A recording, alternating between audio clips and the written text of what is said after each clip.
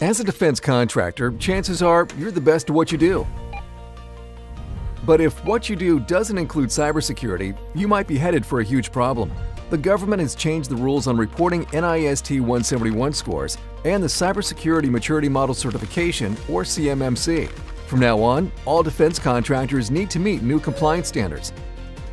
If you can't, then you won't be eligible to do it for the Department of Defense.